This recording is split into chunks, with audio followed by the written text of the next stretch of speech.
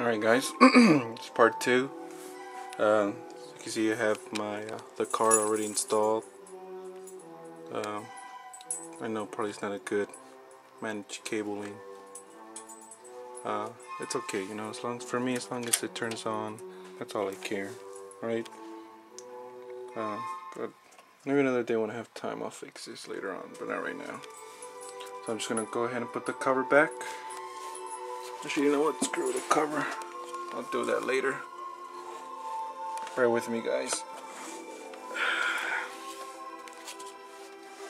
This thing is a beast.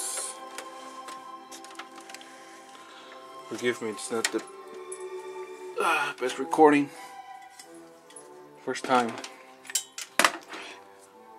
Alright, I'm gonna cover this up. I mean, plug the cables on. So uh, I'll just put you right, guys, right here.